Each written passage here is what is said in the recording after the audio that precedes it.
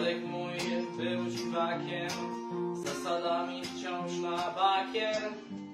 Czytał książki, których nie znał nikt. W blasku ognia przy kominku, przy koniaku albo winku, ze sami głośno wy